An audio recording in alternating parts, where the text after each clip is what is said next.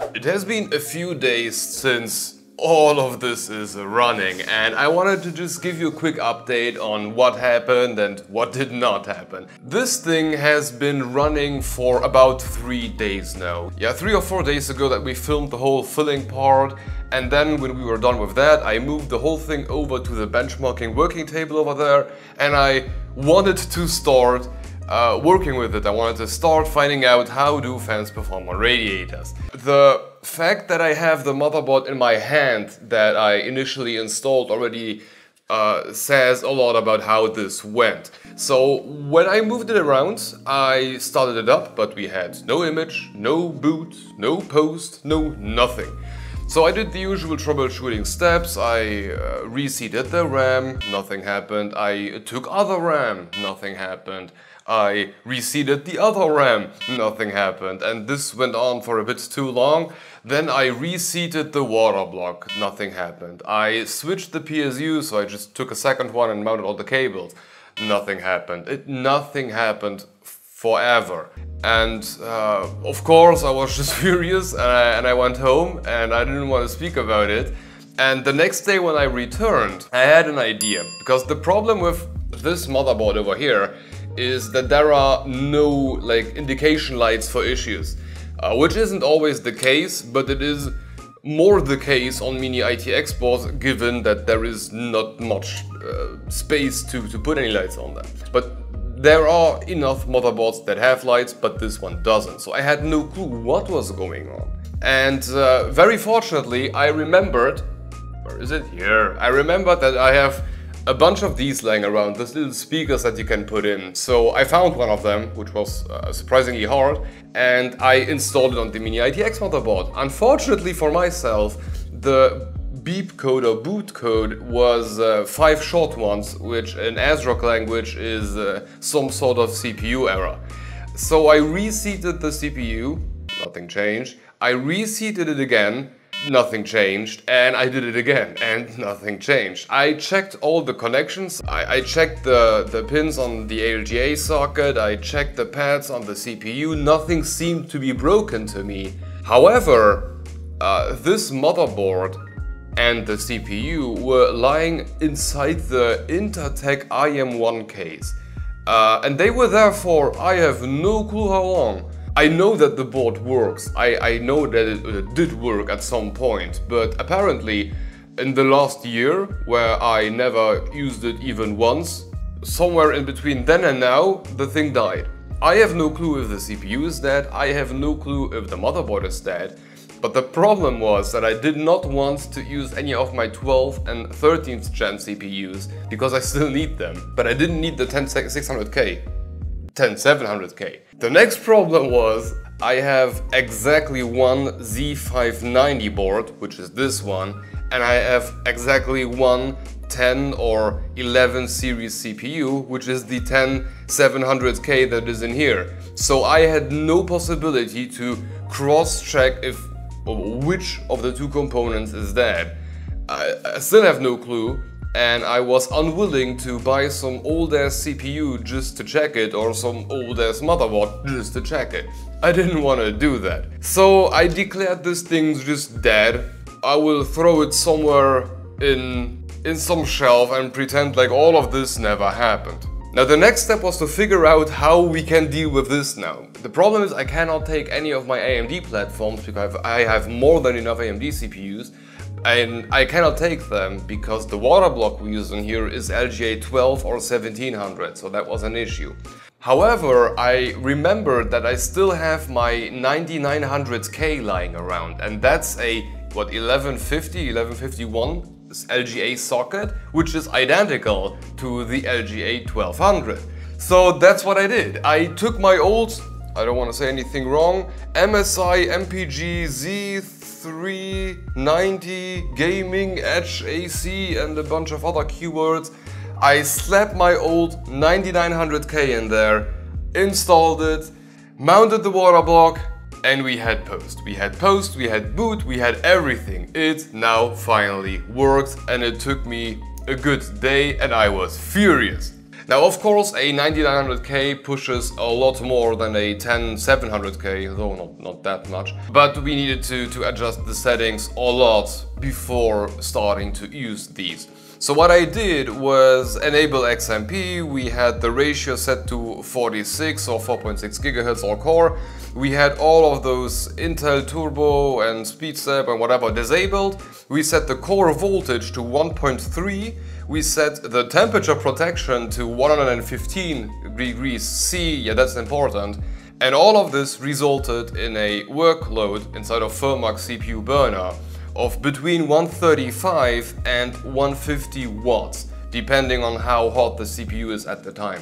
So that means that for every radiator in here, we are pushing between 135 and 150 watts through it and then cooling it down with a fan. And it finally worked. It took so long just to start it up we, of course, we have a fresh version of Windows, we had all of the, the updates done and then we just disabled all of the network cards to be sure that the Wi-Fi doesn't pick up or anything. We did all of the usual benchmarking speed stuff.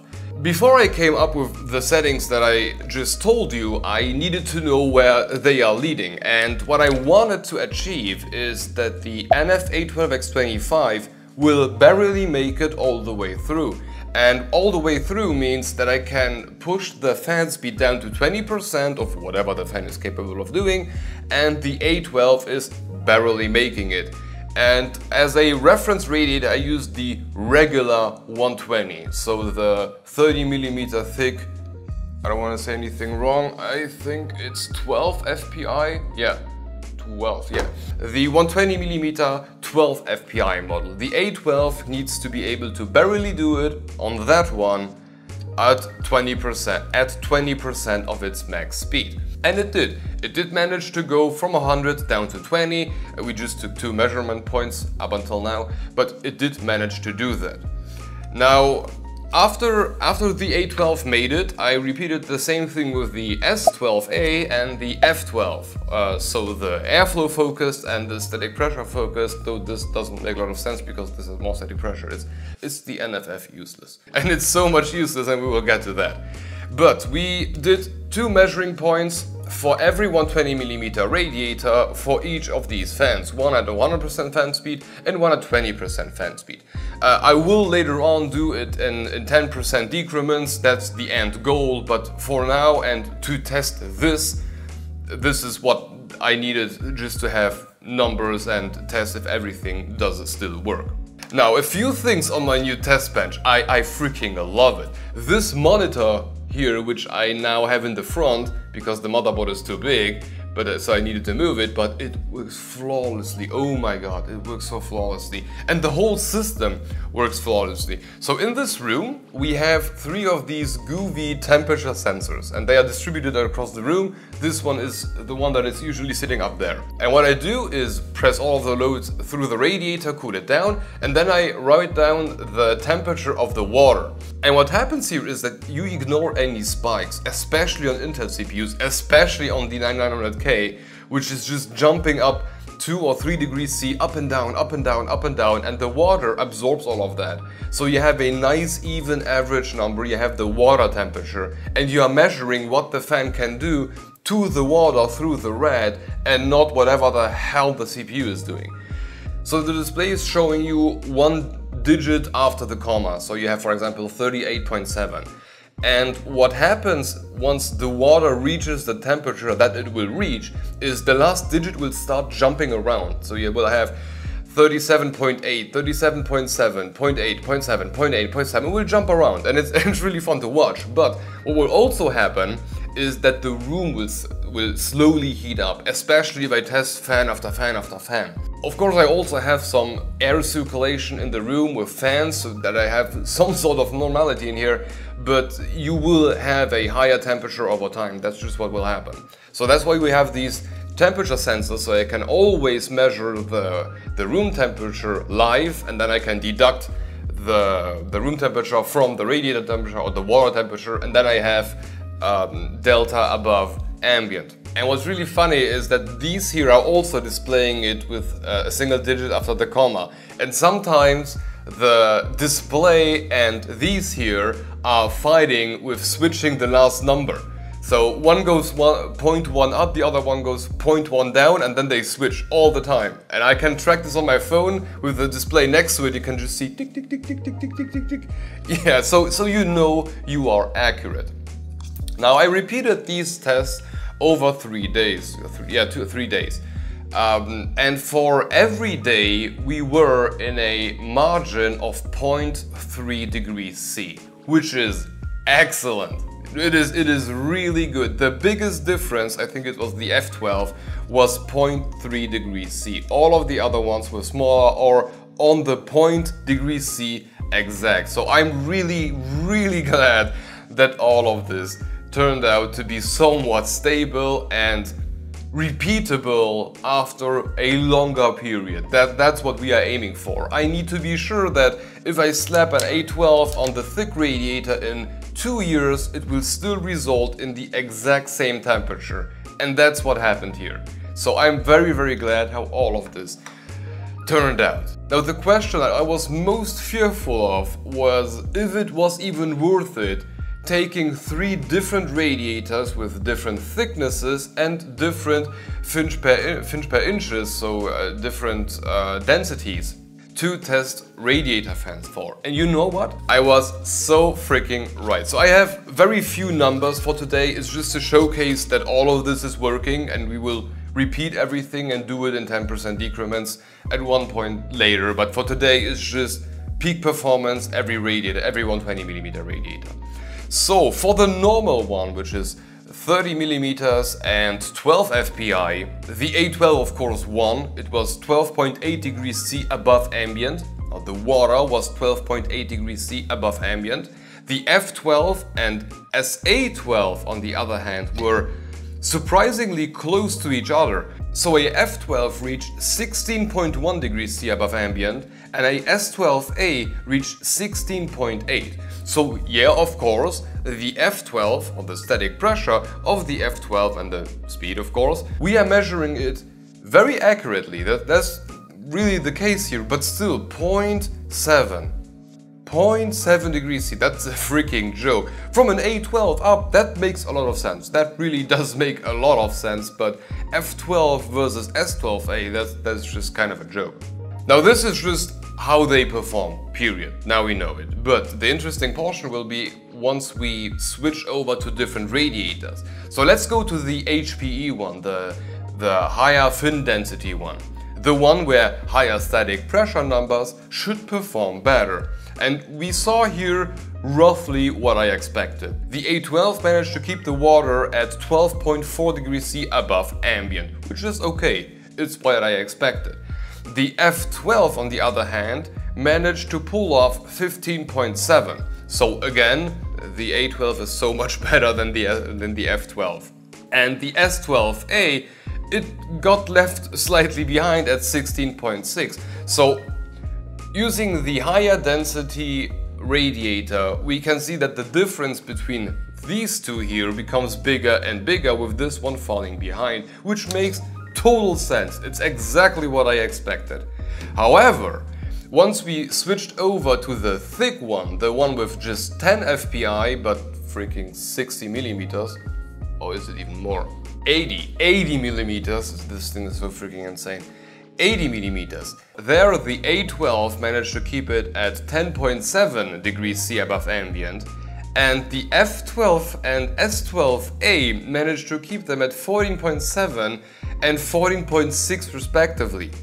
Yeah, the S12 won by 0.1 degrees C. Now of course this is margin of error, I do know that, but it does show that the that the line between these two get really blurry once you are moving to thicker, or no, to, to bigger radiators that are less dense. And it becomes so freaking blurry that this one won. And I tested that three times on three different days. It won every time. It is insane. So unfortunately for my workload from now going on, because a single measuring point takes like 15 to 20 minutes, it takes insanely long. But it does show one thing, that you cannot test a fan on one radiator and then say fan A is better than fan B because they can switch. Going from a high density rad to a very low density rad showed that a airflow fan can outperform a not so much airflow but way more static pressure fan. Why? Because there is just no need for the static pressure. If you look at Noctua's uh, spec sheet, you will see that a S12A pushes more air than a F12, but at a, at a very much lower static pressure. But what if that static pressure is not used or is not necessary? Well then the superior airflow of the S12A will start to make some major major points. And that's what happened here. Now of course you still have the A12 which just yeah, it, it just destroyed everybody. That thing is just, just insane. You are not able to just look at the specs, pretend like nobody lied there, and then determine how they will perform. Things will change.